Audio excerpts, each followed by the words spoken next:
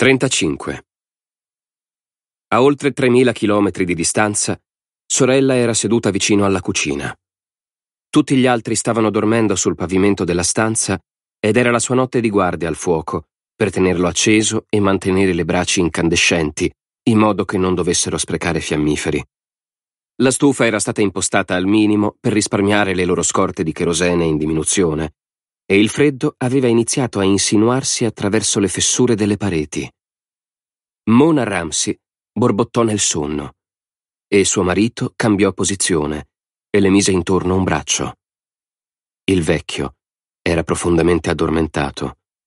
Artie era disteso su un letto di giornali e ogni tanto Steve Buchanan russava come una motosega.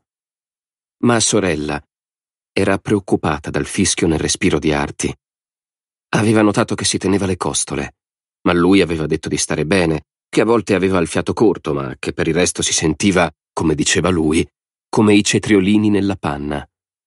Lei lo sperava, perché se Arti avesse avuto una qualche ferita interna, causata forse da quel dannato lupo che lo aveva colpito sull'autostrada una decina di giorni prima, non avevano farmaci per combattere un'infezione.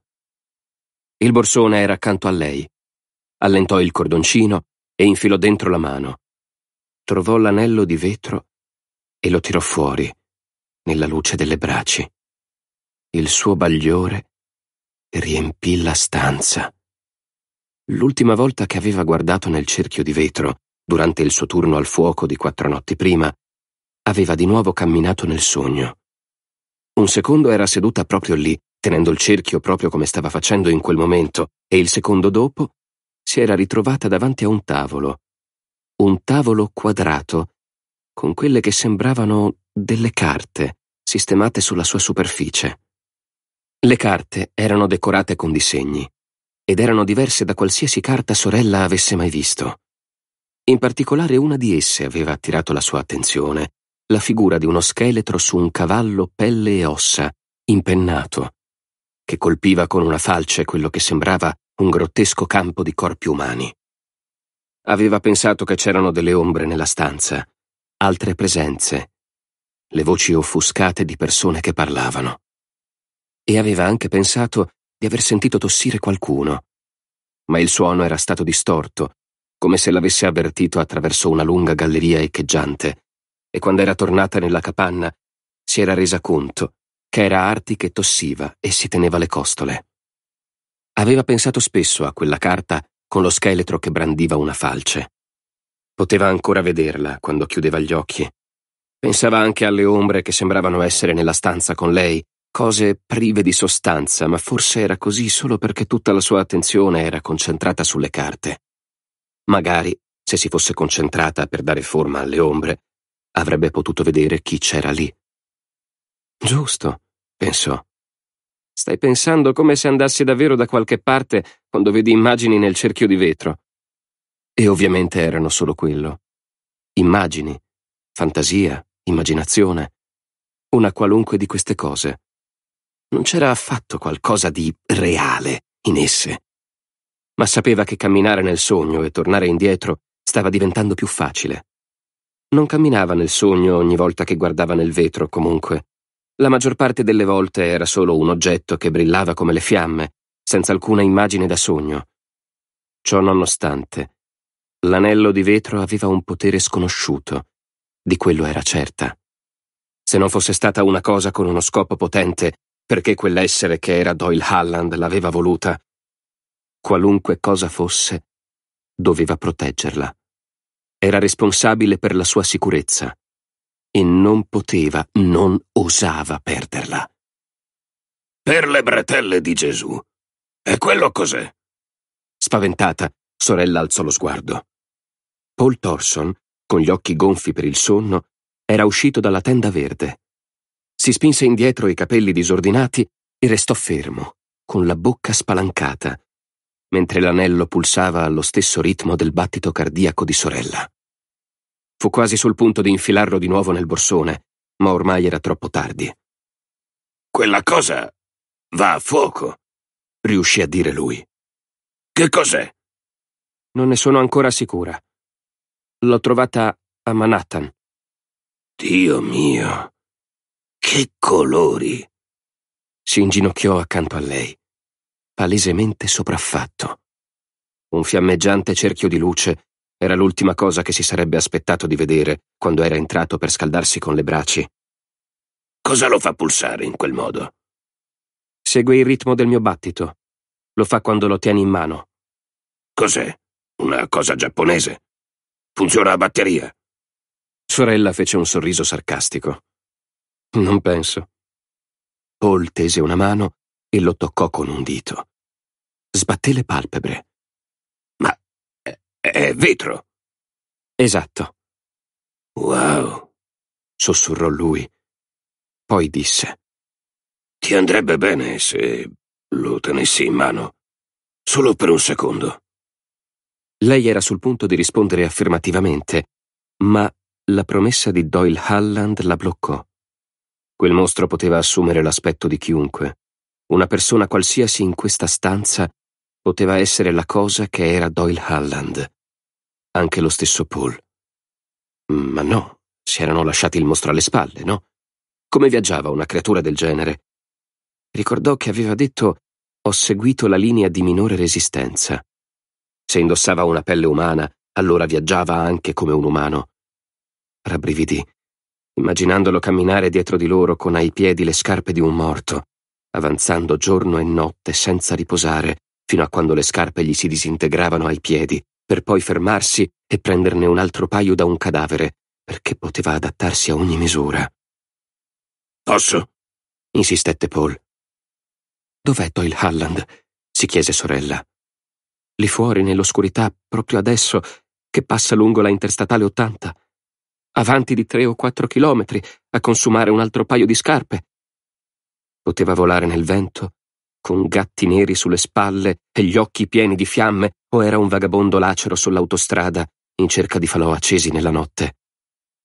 Era dietro di loro, vero? Sorella fece un profondo respiro e porse l'anello di vetro a Paul. Lui vi fece scivolare intorno la mano. La luce restò costante. La metà che Paul stava tenendo assunse un ritmo nuovo, più veloce. Lo tirò a sé con entrambe le mani e sorella espirò. Parlamene, disse lui. Voglio saperne di più. Sorella vide il riflesso delle gemme nei suoi occhi. Sul suo volto c'era uno stupore infantile, come se gli anni gli cadessero rapidamente di dosso. Qualche secondo dopo, sembrava di dieci anni più giovane dei 43 che aveva. Allora decise di raccontargli ogni cosa. Quando ebbe finito, lui restò in silenzio per molto tempo. La pulsazione dell'anello aveva accelerato e rallentato durante tutto il racconto. Carte dei tarocchi, disse Paul, ancora ammirando l'anello. Lo scheletro con la falce rappresenta la morte. Facendo uno sforzo, alzò lo sguardo su di lei. Lo sai che tutto questo sembra dannatamente folle, vero? Sì, lo so. Ecco la cicatrice dove mi è stato strappato il crocifisso. Pure Arti ha visto cambiare la faccia di quella cosa, anche se dubito che lo ammetterebbe con te. Non ne ha parlato da quando è successo. Immagino sia meglio così. E questo è il cerchio di vetro a cui manca una punta.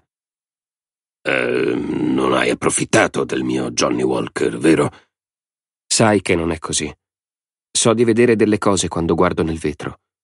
Non ogni volta, ma abbastanza per farmi capire che o ho una grande immaginazione o... O cosa? O, continuò lei, c'è una ragione perché ce l'abbia io.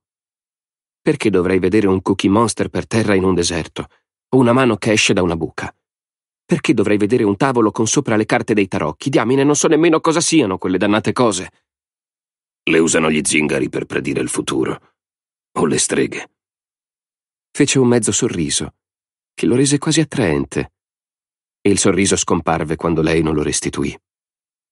Ascolta, io non so nulla di demoni con occhi che si spostano o di camminare nei sogni, ma so che questo è un pezzo di vetro dannatamente bello. Un paio di mesi fa questa cosa sarebbe valsa. Scosse la testa. Wow, disse di nuovo. L'unica ragione per cui ce l'abbia tu è che ti trovavi al posto giusto nel momento giusto. Già questo è abbastanza magico, no? Ma non credi a quello che ti ho detto, giusto? Vorrei dire che le radiazioni ti hanno scombussolato le rotelle. O forse le bombe nucleari hanno fatto esplodere il coperchio dell'inferno stesso e chi può dire cosa ne sia uscito? Le restituì l'anello e lei lo rimise nel borsone. Tu prenditi cura di quella cosa. Potrebbe essere l'unica cosa bella rimasta. Dall'altro lato della stanza, Arti trasalì e trattenne il fiato quando cambiò posizione. E poi restò di nuovo immobile. Ha delle ferite interne, le disse Paul. Ho visto del sangue nel secchio dei suoi escrementi. Immagino abbia una o due costole scheggiate che probabilmente stanno tagliando qualcosa. Si strofinò le dita, sentendo il calore del cerchio di vetro in esse. Non credo che sia messo molto bene. Lo so. Ho paura che qualsiasi cosa sia possa infettarsi. È possibile. Merda. Con queste condizioni di vita potresti morire perché ti mangi le unghie. E non ci sono farmaci. Mi dispiace.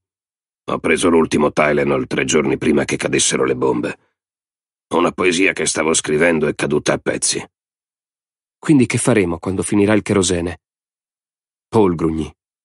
Si aspettava quella domanda e sapeva che non l'avrebbe fatta nessun altro a parte lei.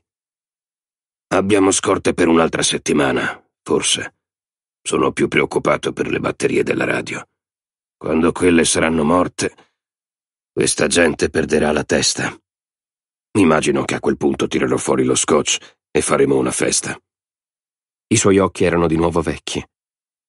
Giochiamo al gioco della bottiglia e chiunque è il fortunato può timbrare il cartellino per primo timbrare il cartellino.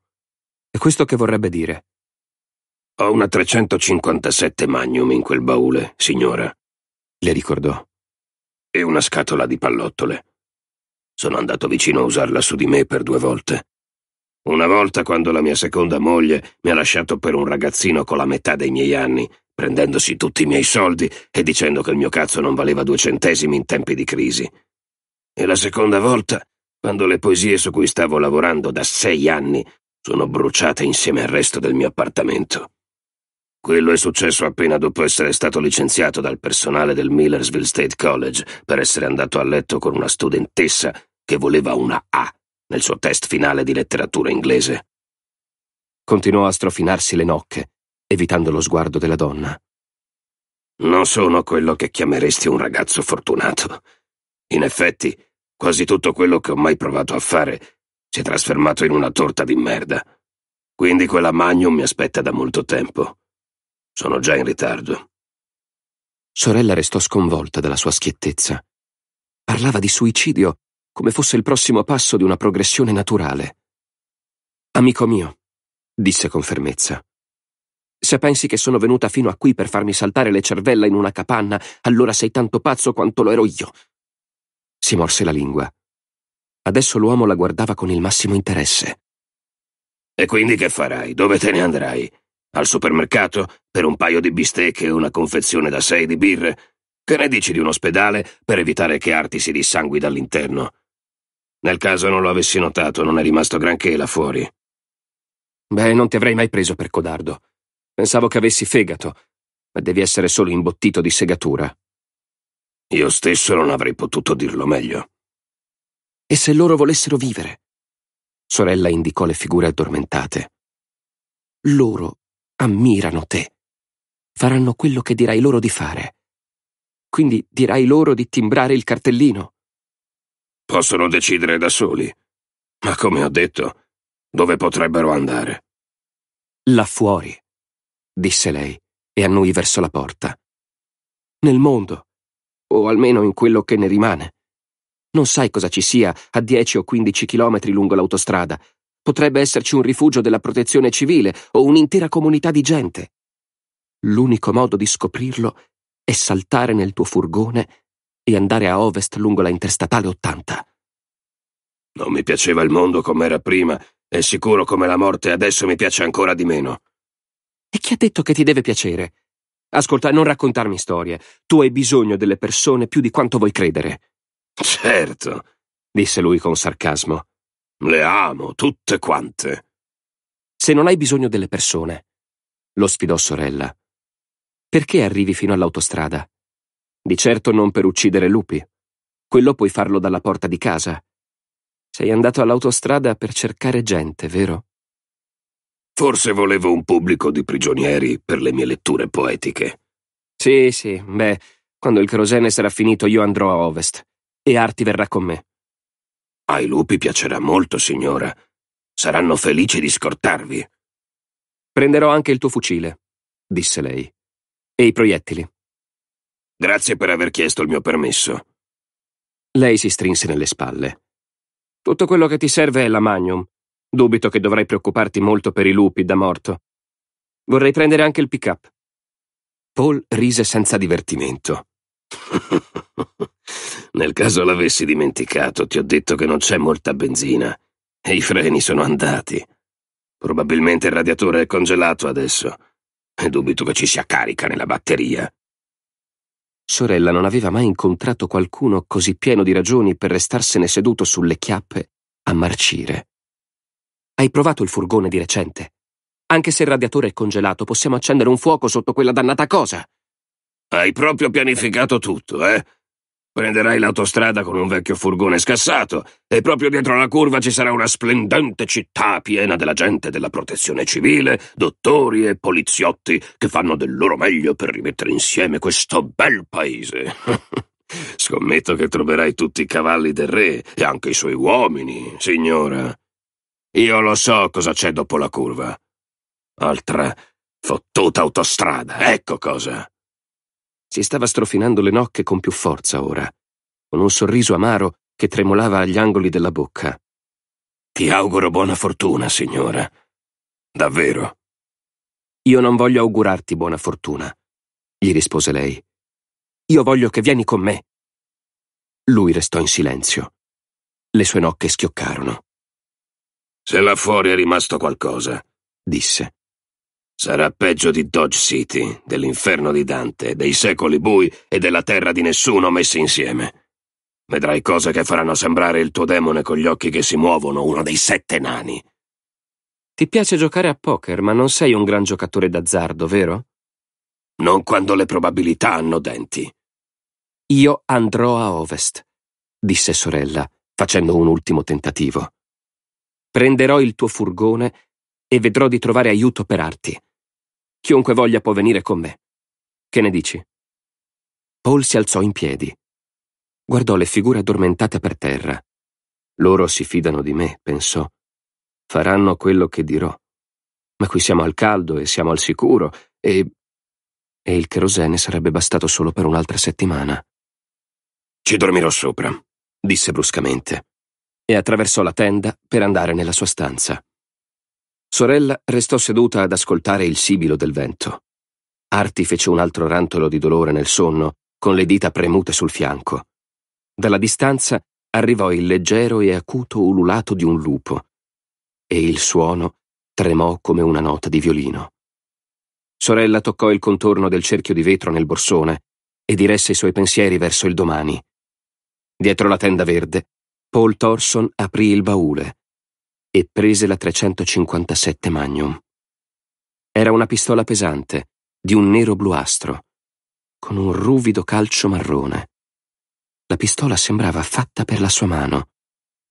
Girò la canna verso il proprio volto e guardò nel suo occhio nero e freddo. Una pressione, pensò, e tutto sarebbe finito. Era davvero così semplice. La fine di un viaggio disastroso è l'inizio di... cosa? Fece un respiro profondo, lo rilasciò e mise giù la pistola. La sua mano tornò su con una bottiglia di scotch e lui la portò a letto con sé.